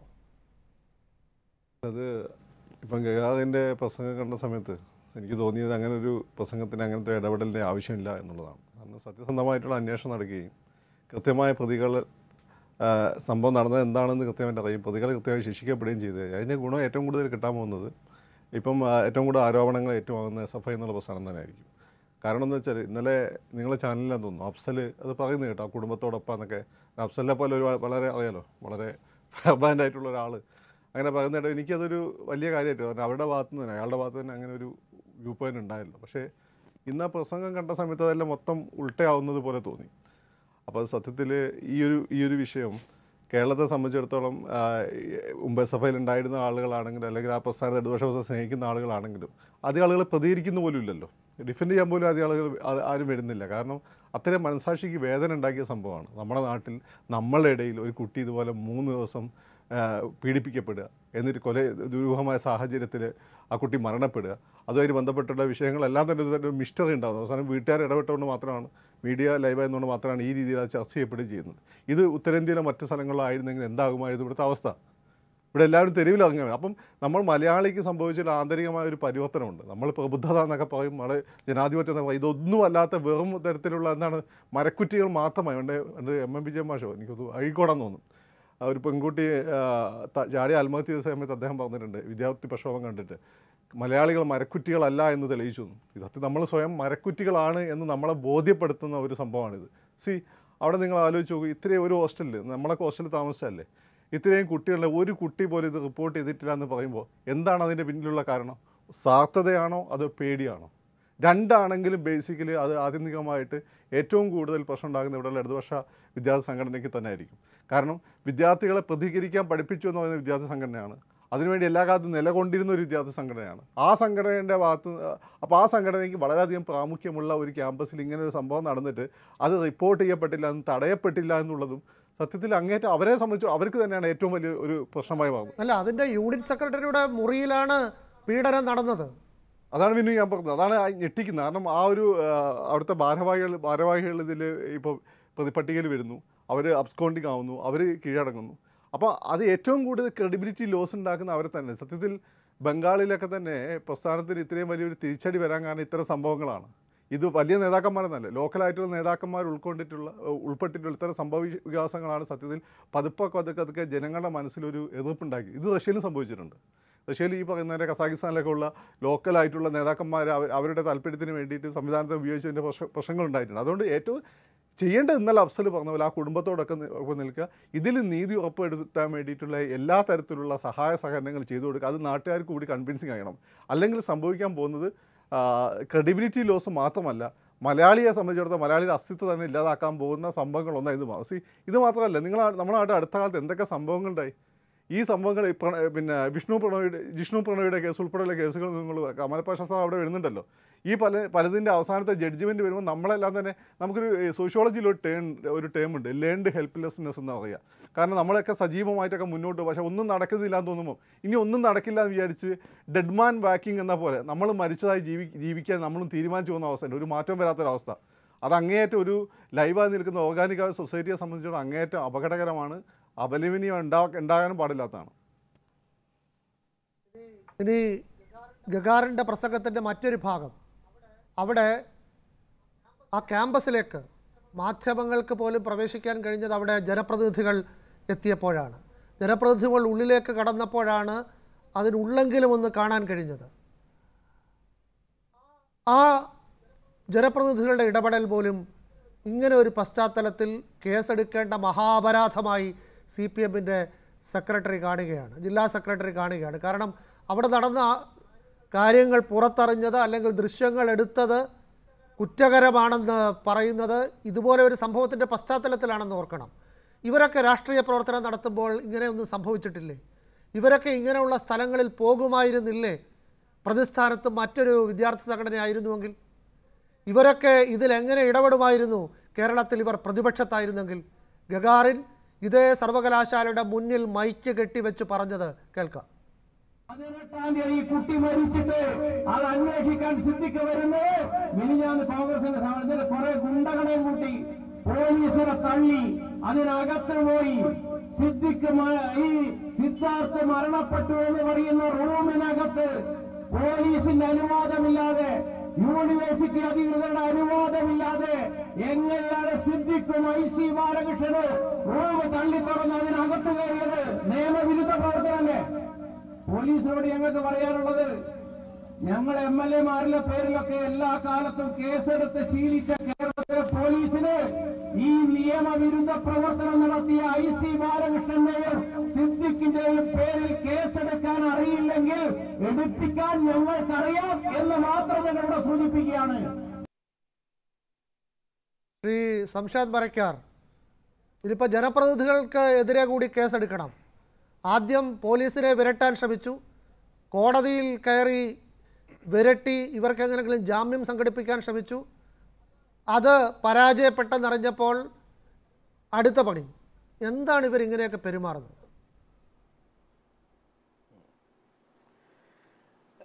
സിദ്ദീഖിനെയും ഐ സി ബാലകൃഷ്ണനെതിരെ കേസെടുത്താൽ ഇന്ത്യയിൽ ഏത് നിയമം വെച്ചും കേസെടുക്കാം. കാരണം ഞങ്ങളൊരു കോസിന് വേണ്ടി നിന്നതാണ്. അതിനകത്ത് കേസ് വരുന്നു ഞങ്ങൾക്കറിയാം. അതിനകത്ത് എന്ത് വന്നാലും കുഴപ്പം. പിന്നെ ഗഗാറിൻ പേടിപ്പിക്കുന്നത്. കേസെടുത്ത് അങ്ങ് തൂക്കിക്കൊല്ലുന്നു പറയുന്നതോടുകൂടി പൂക്കോട് വെറ്റിനറി കോളേജിന് മുമ്പിൽ നടക്കുന്ന സമരത്തിലും സിദ്ധാർത്ഥിന്റെ മരണവും പാതി വഴിയിലിട്ടിട്ട് എന്തായാലും സിദ്ദീഖും ഐ സി ബാലകൃഷ്ണനും കോൺഗ്രസ് പാർട്ടി ഇട്ടേച്ചു പോവില്ല എന്ന് ഗഗാറിന് ഓർത്താൽ നല്ലതാണ്. അങ്ങനെ കേസെടുത്ത് അങ്ങ് പേടിപ്പിക്കാൻ വേണ്ടി പബ്ലിക്കായി മൈക്ക് കെട്ടിയിട്ട് അദ്ദേഹത്തിന്റെ ഒരു പ്രസംഗം പോലീസിനെ കൊണ്ട് ചെയ്യിക്കാൻ ഞങ്ങൾക്കറിയാം. അത് ചെയ്യിക്കാൻ അറിയും. കാരണം വൈത്തിരി എസ് എച്ച് ഒ ആണ് കേസെടുക്കേണ്ടത്. ഈ വൈത്തിരി എസ് എച്ച് ഒനെയാണ് നമ്മൾ ആദ്യം മുതൽ ഈ സംശയത്തിന്റെ നിഴലിൽ പറയുന്നത്. ഇപ്പോൾ ഗഗാറിൻ പറഞ്ഞാൽ അനുസരിക്കുന്ന ആൾ തന്നെയാണ് വൈത്തിരി എസ് എച്ച് ഒ സ്വാഭാവികമായി ഒരു കേസ് ഒന്നോ രണ്ടോ മൂന്നോ എത്ര കേസ് വേണമെങ്കിലും സി പി എം എടുക്കട്ടെ ഈ വിഷയത്തിന്റെ ഭാഗമായി. അങ്ങനെ പേടിച്ച് ഇതിട്ടേച്ച് പോകാൻ നമ്മൾ ഉദ്ദേശിച്ചിട്ടില്ല എന്നുള്ളത് ഒന്ന്. രണ്ട് സി പി എമ്മിനെ സംബന്ധിച്ചിടത്തോളം എന്താണ്? സി പി എം ഇതിനെ ന്യായീകരിച്ച് ന്യായീകരിച്ച് വഷളാക്കിയതാണ്. ഇപ്പോൾ ഡീനിന്റെ ബൈറ്റ് വിനു ഇവിടെ കാണിച്ചു. ഡീൻ പറഞ്ഞത് പത്ത് മിനിറ്റ് കൊണ്ട് ഞാൻ സ്ഥലത്തെത്തി. എന്നിട്ട് അദ്ദേഹം എന്താ ചെയ്തത്? വേഗം കെട്ടഴിച്ചു ബോഡി അവിടുന്ന് കൊണ്ടുപോയി. ബോഡി അവിടുന്ന് കൊണ്ടുപോയി അഞ്ച് മിനിറ്റ് കൊണ്ട് യൂണിവേഴ്സിറ്റി അറിയിച്ചു എന്ന് പറയുന്നു. ആദ്യം അറിയിക്കേണ്ട പോലീസ് സ്റ്റേഷനിലേക്ക് ഈ വിവരം അറിയിക്കുന്നത് മൂന്നര മണിക്കൂർ കഴിഞ്ഞ്. അത് ഡീനിന് ഓർമ്മയില്ല. സിദ്ധാർത്ഥിന്റെ വീട്ടിൽ അറിയിക്കാൻ വേണ്ടിയിട്ട് ഒരു വിദ്യാർത്ഥിയെ ചുമതലപ്പെടുത്തിയെന്ന് അദ്ദേഹം പറയുന്നു. അങ്ങനെ ഇതിനകത്ത് നടക്കുകയും ആ സമയം മുതൽ വൈത്തിരിയിൽ നിന്ന് ബത്തേരി താലൂക്ക് ആശുപത്രിയിലേക്ക് ബോഡി കൊണ്ടുപോകുന്നു. ഈ സമയത്തൊന്നും സിദ്ധാർത്ഥ് മരിച്ച മുറിയിലും സിദ്ധാർത്ഥ് ആക്രമിക്കപ്പെട്ട മുറിയിലും ഒരു പോലീസും പോയി ഒരു പരിശോധന നടത്തിയില്ലല്ലോ. ഇത് എസ് എഫ് ഐക്കാരുടെ കയ്യിൽ മാത്രമായിരുന്നില്ല ക്യാമ്പസ് ഉണ്ടായിരുന്ന ഹോസ്റ്റൽ ഉണ്ടായിരുന്നത്. ഡീൻ ബോഡി അവിടെ നിന്ന് മാറ്റി കൊടുത്തു അവരുടെ കൂടെ സഹായത്തോടു കൂടി. അത് നമുക്ക് സംശയമാണ്. പിന്നെ വി സി അറിയിച്ചു എന്ന് പറയുന്നു. പതിനെട്ടാം തീയതിയോടുകൂടി V C വയനാട്ടിലുണ്ട്. V C justice Kamal Pasha പറഞ്ഞ ഇന്റർവ്യൂവിൽ പങ്കെടുക്കാൻ വൈത്തിരിയിലെ ഒരു നല്ല റിസോർട്ടിൽ റൂം ബുക്ക് ചെയ്യുകയും രാത്രി ഡിന്നറും പാർട്ടിയും നടത്തുകയും പത്തൊമ്പത് ഇരുപത് ഇരുപത്തൊന്ന് തീയതികളിൽ അധ്യാപകരുടെ പ്രമോഷനുമായി ബന്ധപ്പെട്ടുള്ള ഇന്റർവ്യൂ നടക്കുകയും ചെയ്തു. ഇനി ഡീൻ ഈ കാര്യങ്ങൾ പുറത്തു പറയാതിരിക്കാൻ ഒരാളുടെ നിർദ്ദേശം ഡീനിന് കിട്ടിയിട്ടുണ്ട്. ആ നിർദ്ദേശം കൊടുത്താൽ യൂണിവേഴ്സിറ്റി രജിസ്ട്രാർ സുധീർ ബാബുവാണ്. യൂണിവേഴ്സിറ്റി രജിസ്ട്രാറെക്കുറിച്ച് വലിയ രീതിയിൽ നമ്മൾ ചർച്ചയിലേക്ക് ഇടപെട്ട് പോയിട്ടില്ല. യൂണിവേഴ്സിറ്റി രജിസ്ട്രാർക്കും കൃത്യമായ ഉത്തരവാദിത്തം ഉണ്ടായിരുന്നു ഈ കാര്യത്തിൽ.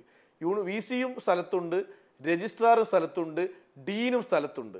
മൂന്ന് ഉദ്യോഗസ്ഥരും ഒരേ സ്ഥലത്തുണ്ട്. സിദ്ധാർത്ഥ് മരിച്ച ക്യാമ്പസിൽ പത്തൊമ്പതാം തീയതി ബോഡി വരുന്നു ഒരു റീത്ത് കൊണ്ടുപോയി വെക്കുന്നു. രജിസ്ട്രാറും വി സിയും കൂടി നേരെ ഇന്റർവ്യൂവിന് പോകുന്നു. ഡീൻ അവിടെ പറയുന്നു ഇതാരും അധികം പുറത്തറിയേണ്ട. ആ നിർദ്ദേശം കൊടുത്ത രജിസ്ട്രാറാണ്. ഇപ്പൊ രജിസ്ട്രാർക്കും ഇതിനകത്ത് പങ്കുണ്ട്. പേര് പറഞ്ഞപ്പോഴാണ് ഞാൻ ഓർത്തത് നേരത്തെ തൃശൂരിൽ തൃശ്ശൂരിൽ മണ്ണുത്തിയിൽ ഉണ്ടായിരുന്ന കാലത്തെ ഇടത് സംഘടനാ പ്രവർത്തകനാണ്. അതിശക്തമായ രാഷ്ട്രീയ നിലപാടുകളുള്ള ആളാണ്. രാഷ്ട്രീയ കാര്യങ്ങൾക്ക് വേണ്ടി എന്തും ചെയ്യും എന്ന ട്രാക്ക് റെക്കോർഡുള്ള ആളാണ്. ഇനി പൂക്കോട് വന്നപ്പോഴാണെങ്കിൽ ആദ്യത്തെ V C doctor B Ashok I A S അദ്ദേഹം ഏറ്റവും കൂടുതൽ പരാതിപ്പെട്ടിട്ടുള്ളത് ഇപ്പോൾ രജിസ്ട്രാർ ആയിരിക്കുന്ന ആളിന് എതിരെയാണ്. എന്ന് മാത്രമല്ല അന്ന് ആ വി സിക്കെതിരായ സർവ ഇടത് നീക്കങ്ങളുടെയും കുന്തമുന ഈ രജിസ്ട്രാർ ആയിരുന്നു. അതെ അതെ രജിസ്ട്രാർ തന്നെയാണ്. ആ രജിസ്ട്രാർ തന്നെയാണ് ഈ ഇപ്പോഴും പൂക്കോട് വെറ്റിനറി ക്യാമ്പസിലുള്ളത്. അദ്ദേഹത്തിന് വേറൊരു പ്രത്യേകത കൂടി പറഞ്ഞു കേൾക്കാറുണ്ട്. അദ്ദേഹത്തിന്റെ പി എച്ച് ഡി പ്രബന്ധവുമായി അൻപത്തെട്ട് ശതമാനം കോപ്പി അടിച്ചതുമായി ബന്ധപ്പെട്ടൊരു തർക്കം വേറെ നിലനിൽക്കുന്നുണ്ട്. അത് നമുക്ക് അറിയാത്തതുകൊണ്ട് പറഞ്ഞതും ഉന്നയിച്ചതുമാണ്. അദ്ദേഹം പരസ്യമായി പറഞ്ഞ കാര്യമാണത്. നോട്ടീസ് കൊടുക്കുകയൊക്കെ ചെയ്തതാണ്. അതിന്മേൽ നടപടി എന്തായെന്ന് എനിക്കറിയില്ല. എന്തായാലും അങ്ങനെ ഒരു പരാതി ഉണ്ടായിരുന്നു. അത് വി സി തന്നെ പരസ്യമായി പറഞ്ഞതുമാണ്. അപ്പൊ രജിസ്ട്രാറും വി സിയും ഡീനും ഒരേ ക്യാമ്പസിലുണ്ട്.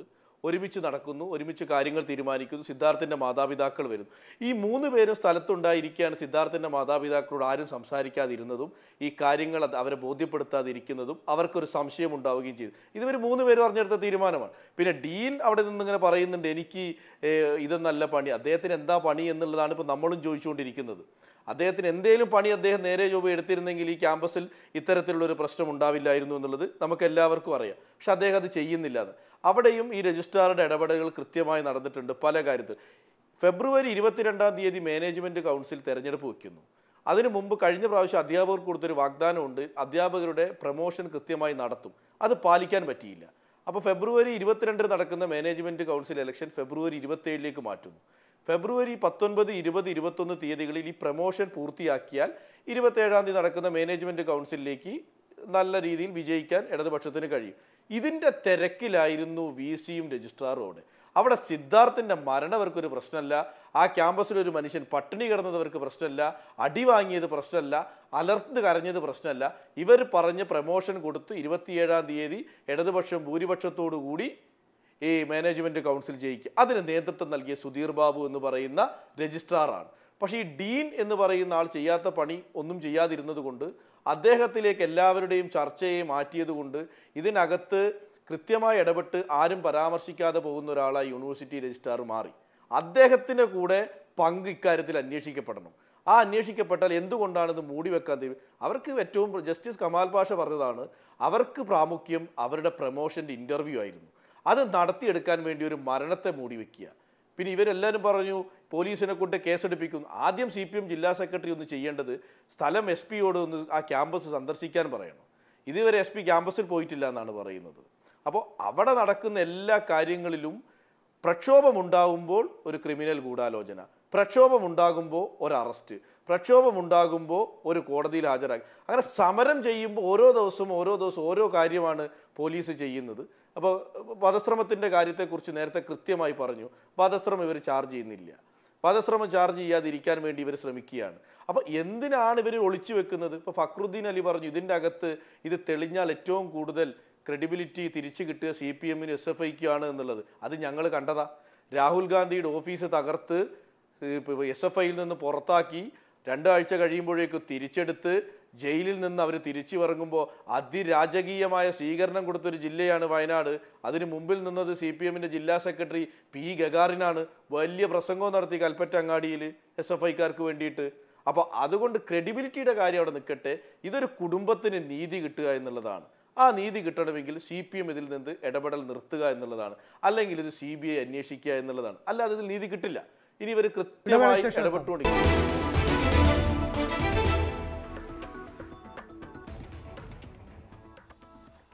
ജസ്റ്റിസ് കമാൽ പാഷ ആദ്യം നേരത്തെ ജസ്റ്റിസ് കമാൽ പാഷ തന്നെ സൂചിപ്പിച്ച കോടതിയിലെ ഇടപെടൽ അല്ലെങ്കിൽ കോടതിക്ക് പുറത്ത് നടത്തിയ നടപടികൾ പുറ- പുറത്ത് കാണിച്ച കാര്യങ്ങൾ. അതേക്കുറിച്ച് ഇന്ന് വാർത്താ സമ്മേളനത്തിൽ സി കെ ശശീന്ദ്രൻ മുൻ എം എൽ എയും പി ഗഗാറിനും വിശദീകരിച്ചിരുന്നു. അതുകൂടി കാണാം. ഞങ്ങൾ ഈ പ്രതികളെ ഹാജരാക്കി എന്ന് പറയുന്ന ദിവസം പാർട്ടിയുടെ ഒരു പരിപാടിയുമായി ബന്ധപ്പെട്ട് വാര്യാടാണ് ഉണ്ടായിരുന്നത്. ഒരു വാർത്ത വലിയ രീതിയിൽ വന്നു. എസ് എഫ് ഐയുടെ പരസ്യ വിചാരണയുടെ ഭാഗമായിട്ടാണ് ഈ കാര്യങ്ങൾ നടന്നിരിക്കുന്ന ഒരു വാർത്ത വന്നു.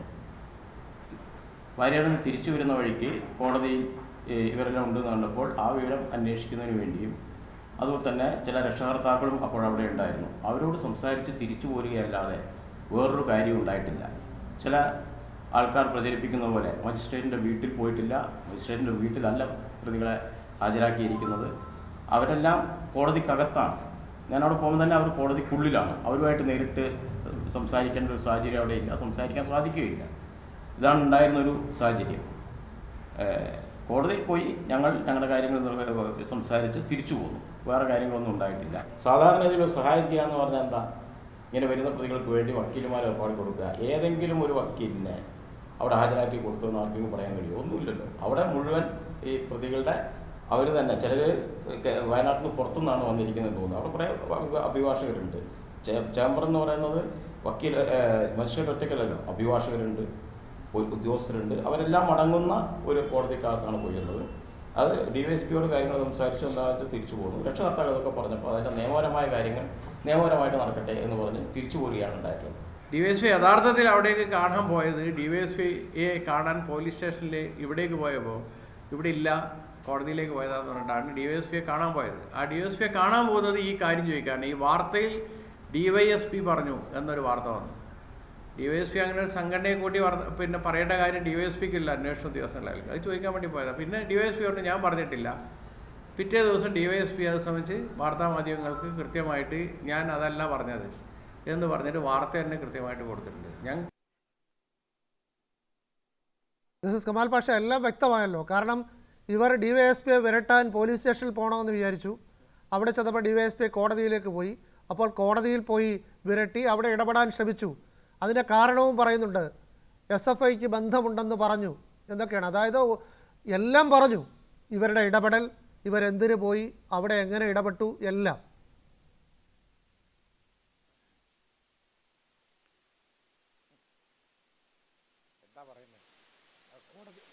കോടതി പോയത് ബ- അവിടെ ഉള്ളവരെയൊക്കെ കല്യാണത്തിന് വിളിക്കാനാന്ന് പറയാറുന്നത് വലിയ ഭാഗ്യം. അതുകൂടെ പറഞ്ഞനെ. അപ്പോൾ ഏതാ ഏതായാലും പുറത്ത് വന്നല്ലോ ഈ വിവരമെങ്കിലും. ഡി വൈ എസ് പി വരട്ടാൻ പോയതാണ്. പോലീസ് സ്റ്റേഷൻ പോയപ്പോൾ അയാളില്ലെന്ന്. അയാളെ എസ് എഫ് ഐക്ക് ഇത് പങ്കുണ്ടെന്ന് പറഞ്ഞതാണ് പ്രശ്നം. പറഞ്ഞു എന്ന് ആരോപിച്ചാണ്. അവസാനം അയാൾ വരണ്ടിട്ട് അയാൾ പറഞ്ഞെന്ന് അങ്ങനെ മിണ്ടിയിട്ടേ ഇല്ലെന്ന്. പറഞ്ഞിട്ടില്ലെന്ന്. അപ്പോൾ അതിന് അവിടെ പോയി വരട്ടി. അതാ ഇപ്പോൾ പറഞ്ഞുകൊണ്ടിരിക്കുന്നത്. ഇവർക്ക് എന്തും ചെയ്യാമല്ലോ. കാരണം ഭരിക്കുകയല്ലേ. ഇതല്ലേ ഭരണം? നമ്മളിപ്പോൾ ഇതൊക്കെ അനുഭവിക്കണമല്ലോ. ഇത് കണ്ടുകൊണ്ടിരിക്കുക എന്ന് പറയുന്നത് വളരെ ബുദ്ധിമുട്ട്. ഇവരൊക്കെ ആ പോസ്റ്റ്മോർട്ടം സർട്ടിഫിക്കറ്റ് ഒന്ന് എടുത്ത് വായിച്ച് നോക്കിയിരുന്നെങ്കിലുണ്ടല്ലോ. പതിനെട്ട് ആന്റിമോർട്ടർ ഇഞ്ചുറിയാണ്. ആ മരിച്ചുപോയ കുഞ്ഞിന്റെ ദേഹത്ത്. നെഞ്ചത്തുണ്ടല്ലോ. നെഞ്ചത്ത് ഹാർട്ടിന്റെ പുറത്താണ് ചവിട്ടിയേക്കുന്നത്. ആ ചവിട്ടെന്ന് പറയുന്നത് വലിയ കണ്ടിവിഷനാണ് അത് ഈ എല്ല് ബ്രിട്ടിലല്ലാത്തതുകൊണ്ട് അതായത് പ്രായം വളരെ കുറവായതുകൊണ്ട് എലാസ് അത് എലാസ്റ്റിസിറ്റി ഉള്ളതുകൊണ്ട് മാത്രമാണ് അവിടെ ഈ വാരിയൽ തകർന്ന് ഹൃദയം തകർന്നു പോകാറുള്ളത് അത് അവിടെ പോരാഞ്ഞിട്ട് പിന്നെ വലതുവശത്ത് ചവിട്ടി. ഇത്രയും ഉപദ്രവിച്ചേക്കാണ് ഒരു മനുഷ്യനെ. എന്നിട്ടാണ് ഇതേപോലെ എസ് എഫ് ഐക്ക് പങ്കുണ്ടെന്ന് പറഞ്ഞതിന് പോലീസിന്റെ എന്നെ വരട്ടാൻ പോയേക്കുന്നത്. അതാണ്. വരലും അവർ കാരണം അവർക്ക് എന്ത് ചെയ്യാമല്ലോ ഇവർക്ക് ഇതുപോലെ ആളുകൾ വരട്ടാം. അതിനുള്ള പോയത് ഈ കൂടുതൽ ആളുകളെ അറസ്റ്റ് ചെയ്യാതിരിക്കാനും അറസ്റ്റ് ചെയ്തവർക്ക് എതിരെ ഗുരുതര വകുപ്പുകൾ ചുമത്താതിരിക്കാനും വരട്ടാൻ തന്നെയാണ്. അല്ലാതെ എന്തിനാണ് പോകുന്നത്? അതിന് തന്നെ ഒരു സംശയമില്ല.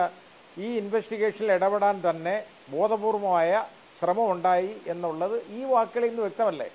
ഇനി കൂടുതൽ അതുകൊണ്ട് ഞാൻ പറയുന്നത് ഇത് ഈ കേരള പോലീസിന്റെ കൈകൾ കെട്ടിയിരിക്കുകയാണ് കെട്ടപ്പെട്ടിരിക്കുകയാണ്.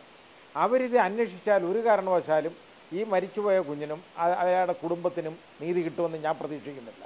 മാത്രമല്ല സത്യം പുറത്തു വരണം. സത്യം പുറത്തു വരാതിരിക്കാനുള്ള എല്ലാ പണികളും ചെയ്തു വെച്ചു. തെളിവ് മുഴുവൻ നശിപ്പിച്ചു. കാരണം ഇൻക്വസ്റ്റ് അവിടെ വെച്ച് നടത്തേണ്ടതാണ് ഈ പാർഷ്യൽ ഹാങ്ങിങ്ങോ ഹാങ്ങിങ്ങോ ഉണ്ടെങ്കിൽ. അതിന് പകരം ബോഡി അഴിച്ചെടുത്ത് ആശുപത്രി കൊണ്ടുപോയി.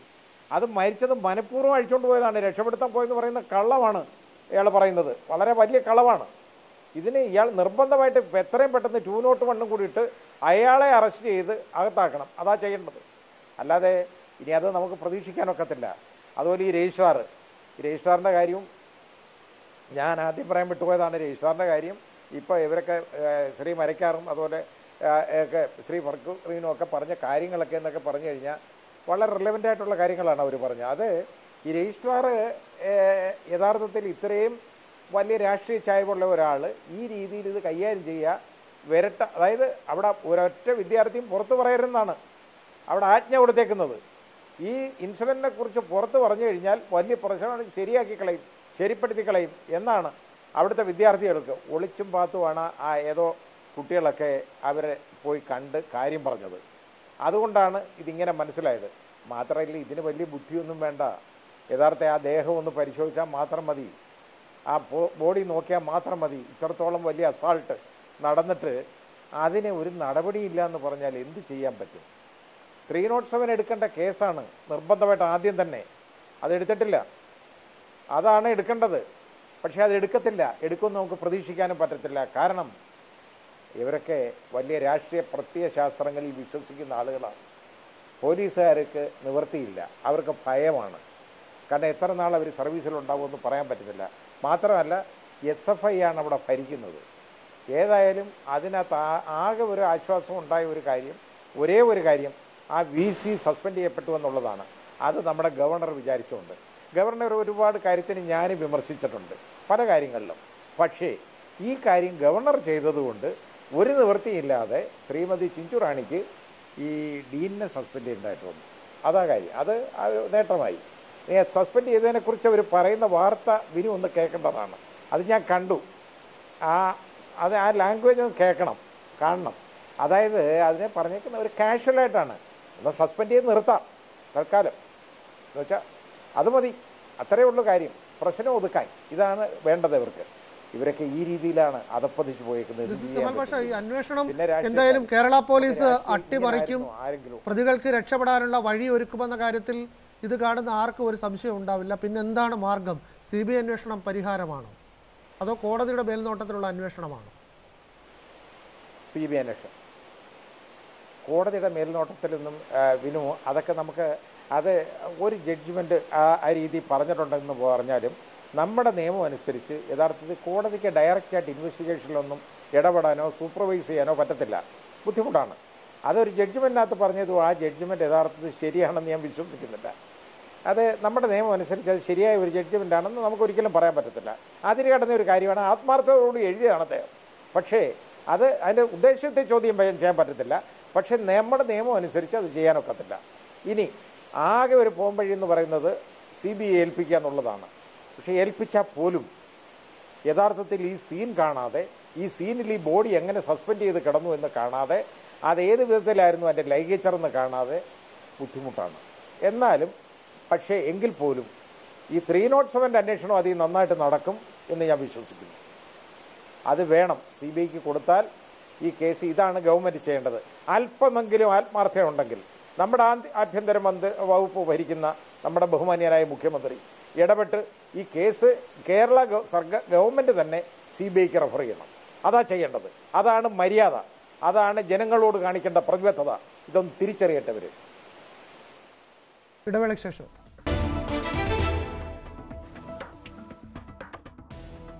ശ്രീ ഫക്രുദ്ദീൻ വയനാട് ജില്ലാ സെക്രട്ടറി പറഞ്ഞത് ശ്രദ്ധിച്ചിരിക്കും.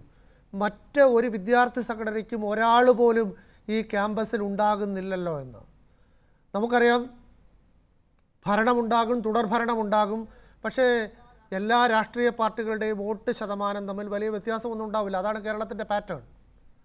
അങ്ങനെ ഉള്ള കേരളത്തിൽ ഒരു ക്യാമ്പസിൽ മറ്റൊരാളും ഇല്ലാത്ത അവസ്ഥ ഉണ്ടാകുമ്പോൾ ചില ക്യാമ്പസുകൾ എങ്ങനെയാണ് ഒറ്റ പാർട്ടിക്ക് മാത്രം മത്സരിക്കാൻ കഴിയുന്ന മറ്റൊരാൾക്ക് നോമിനേഷൻ പോലും കൊടുക്കാൻ കഴി കഴിയാത്ത മറ്റൊരു വിദ്യാർത്ഥി സംഘടനയുടെയും കൊടികൾ പോലും പാറാത്ത ക്യാമ്പസുകൾ ഉണ്ടാവുന്നത് എങ്ങനെയാണ്? ഈ പാക്സ് റോമാൻ എന്ന് പറഞ്ഞിട്ട് റോമാ സാമ്രാജ്യം വന്നപ്പം അതോടെ ലോകത്തൊക്കെ സമാധാനമാണ് ചെറിയ യുദ്ധങ്ങളൊക്കെ ഇല്ലാതായി. അതുകൊണ്ട് റോമാ സാമ്രാജ്യം ഭയങ്കര സംഭവമെന്ന് റോമക്കാർ പറയുന്നു. അവിടുത്തെ പ്രശസ്ത ഹിസ്റ്റോറിയനായിട്ടുള്ള ടാസിറ്റസ് പറഞ്ഞൊരു കാര്യമുണ്ട്. നിങ്ങൾ ശ്മശാനം ഉണ്ടാക്കി അതിനെ നിങ്ങൾ സമാധാനം എന്ന് വിളിച്ചു.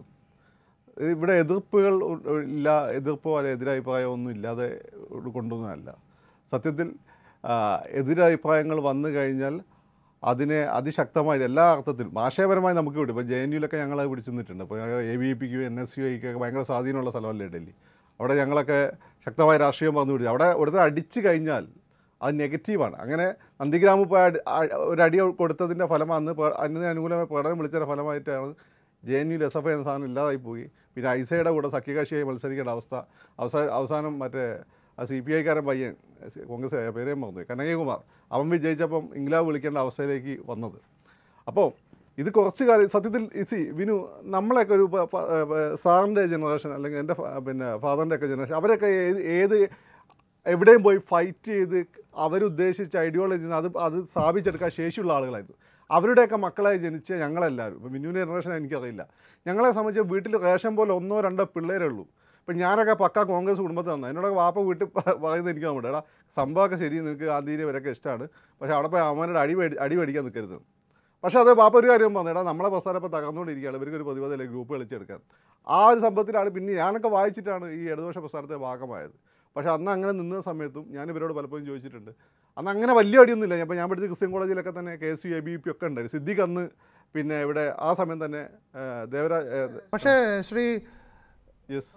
ഫക്രുദ്ദീൻ നമ്മുടെ നേതാക്കന്മാരുടെ മക്കൾ ഇപ്പം മന്ത്രിസഭ തന്നെ എടുക്കുക. ഈ മന്ത്രിസഭയിൽ കോളേജിൽ പഠിക്കുന്ന കുട്ടികളുള്ള മക്കളുള്ള മന്ത്രിമാർ അവരാരെങ്കിലും ഇങ്ങനെ എസ് എഫ് ഐ ഉള്ള കോളേജുകളിൽ ആ കുട്ടികളെ അയക്കുന്നുണ്ടോ? ഞാൻ കണക്ക് പറയാം. അയക്കുന്നില്ല. ഇല്ല എനിക്ക് എനിക്ക് കൃത്യ കണക്ക് അറിയില്ല. എനിക്ക് ആ പാകാട് എനിക്ക് ക്ലോസ് ആയിട്ട് രാജാജി മാത്യു തോമസ് രാജാജിന്റെ മോൻ പഠിച്ചത് തൃശ്ശൂർ സെന്റ് തോമസ് കോളേജിൽ ഞാൻ ഇപ്പോഴത്തെ മന്ത്രിസഭയുടെ കാര്യമാണ്. പറഞ്ഞത്. അല്ല ശരിയായിരിക്കാം. എനിക്കതേപ്പറ്റി കൃത്യമായിട്ട് അറിയില്ല. എനിക്ക് പേഴ്സണലായിട്ട് വരെ വലിയ ബന്ധം കേരളത്തിന് അകത്തും പുറത്തും രാജ്യത്തിന് പുറത്തും ഒക്കെയുള്ള സർവകലാശാലകളിലും കോളേജുകളിലുമാണ് പഠിക്കുന്നത്. അതാണ് ഞാൻ ഞാൻ- പറയേണ്ടത്. എസ് എഫ് ഐ എന്നുള്ള പ്രസ്ഥാനം നല്ലതാണ്. എ ബി പി എന്നുള്ളത് കെ എസ് യു ഒക്കെ നല്ല ആശയപരമായ നല്ല പ്രസ്ഥാനങ്ങളാണ് പക്ഷേ അത് ഏത് പ്രസ്ഥാനമാണ് ഫാസിസത്തിലേക്ക് പോകുന്നത്? ആര് പിന്നെ സമൂഹത്തിനും ഈ രാജ്യ അല്ല നാട്ടുകാരുടെ മക്കൾ പഠിക്കുന്നിടത്തൊക്കെ ഇങ്ങനെ മറ്റൊരു വിദ്യാർത്ഥി സംഘടനയും ഇല്ലാത്ത ക്യാമ്പസ് ആണെന്ന് പറയാം. അവിടെ വിചാരണ നടത്താം. ഇതുപോലെ ഏകാധിപത്യം പുലർത്താം തല്ലിക്കൊല്ലാം. പക്ഷേ സ്വന്തം മക്കളെ അവർ നല്ല നല്ല സ്ഥാപനങ്ങളിൽ അയക്കും. സത്യത്തിൽ ഒരു ഒരു ഇത്തരം ആളുകളുടെ ഒരു ഒരു പട്ടിക നേതാക്കളുടെ മക്കൾ പഠിക്കുന്ന സ്ഥാപനങ്ങൾ എന്ന ഒരു പട്ടിക തന്നെ പ്രസിദ്ധീകരിക്കേണ്ടതാണ്. പറഞ്ഞിട്ട് കാര്യമില്ല. കേരള സർവകലാശാലയിൽ ഒരു അധ്യാപികയുടെ തലമുടിക്ക് പിടിച്ച് വലിച്ചിഴച്ചവരെ മർദ്ദിച്ച് പീഡിപ്പിച്ച് ഇല്ലാതാക്കിയ ആൾക്ക് രാജ്യസഭ കൊടുത്ത പ്രസ്ഥാനമാണ്. രാജ്യസഭാംഗമാണ് ആ മഹാൻ. ആ കേസ് പിൻവലിക്കാൻ ശ്രമിച്ചു. പക്ഷേ ആ അധ്യാപിക ഫൈറ്റ് ചെയ്തതുകൊണ്ട് അത് പിൻവലിക്കാൻ കഴിഞ്ഞില്ല. അപ്പോൾ പിന്നെ പറഞ്ഞിട്ട് ഒരു കാര്യവുമില്ല നന്നാകുന്ന ലക്ഷണവുമില്ല. ന്യൂസ് അവസാനിക്കുന്നു ഇനി